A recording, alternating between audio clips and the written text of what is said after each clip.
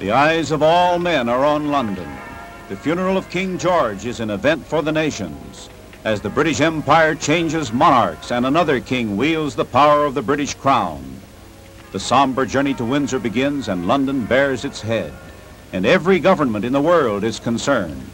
For in the midst of the world crisis, the personality and influence of the old king, tempered by the moderation of years, vanishes into the tomb.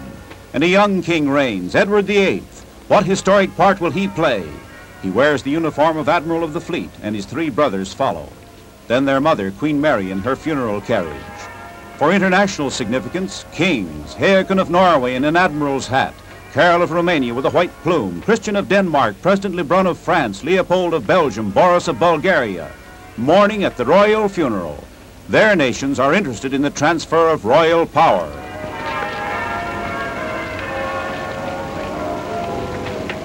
How the road waiters, and behind the caisson, brakeman artillery style to keep the gun from plunging down a hill.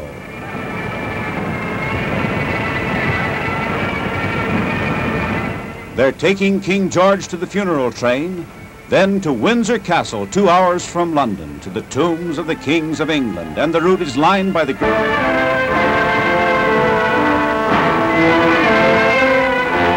Here at the railroad station at Windsor, the procession begins again.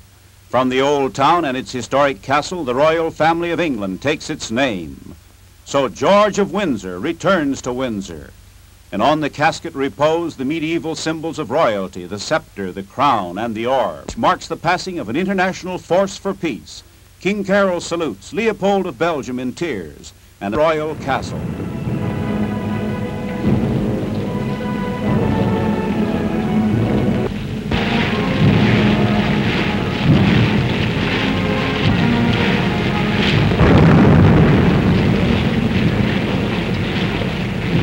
And there's a dramatic reminder that George was the sailor king, and he's piped in by the boatswain's whistle.